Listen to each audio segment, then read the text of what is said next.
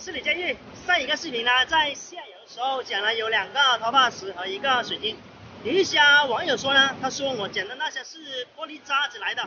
今天我到上面来看一下，看看有没有捡到。如果是捡不到的话，就用上一次捡的把它敲开，敲破之后呢，用显微镜来看一下托帕石和玻璃和水晶有什么不同的。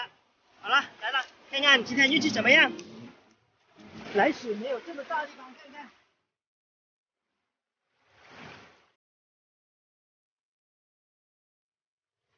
这里有一块很一般的，看起来比较干了，玉化不太好。这一块玉化不行的。前面这里呢，啊，这样透了阳光的话，就看到它的微微有这个透光，这个黄光，看到没有？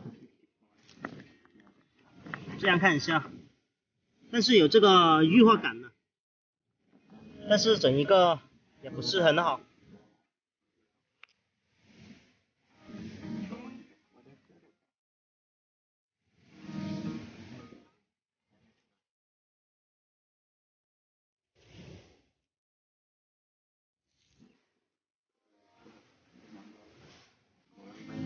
这里呢，就有一块托帕石了，这一块呢。这块就是了，但是它很小，太小了，只有一点点了。这个呢，可以说是没什么用的，用处不大。但是为了做这个研究，可以敲一个口，它敲崩了一个口的话，它那个那个面是不一样的，有很多这个一层一层的。好了，这个可以拿回去，之后呢和那些啊玻璃啊对比一下，用显微镜来对比一下。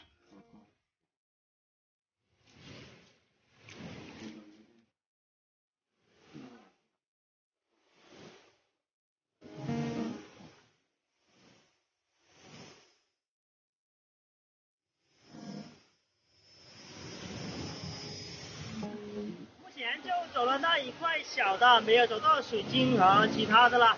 好了，现在呢就用刚才捡的那一小块，加上前两天呢捡的那一块，把它敲开，用显微镜来看看啦。来了，一个一个敲过一点看看。这个敲破一点，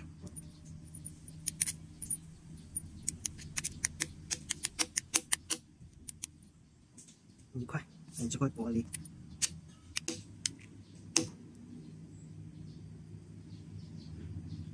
敲开三十块来，仔细的用微观世界看一下它们呢有什么不一样。来，开始看一下这块托帕石，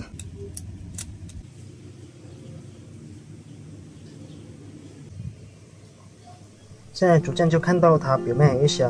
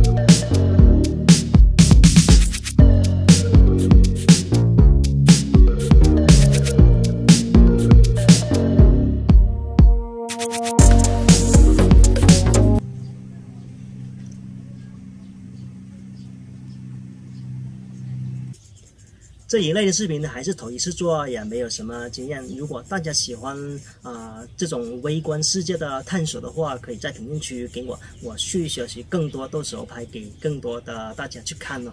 好了，今天视频分享到这里了，我们下期再见了，拜拜。